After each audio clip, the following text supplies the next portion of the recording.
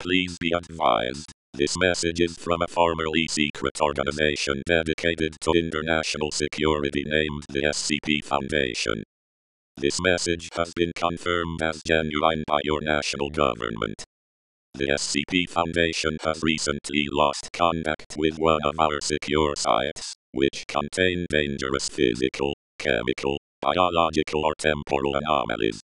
This communications breakdown has likely occurred due to a containment breach of unknown magnitude, involving unknown anomalies.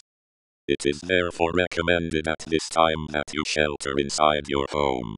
Do not open the door for anyone, and do not look out your windows.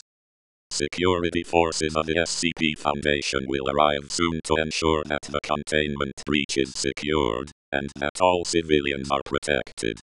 Thank you for your attention and cooperation. Please remember to stay inside. Secure. Contain. Protect.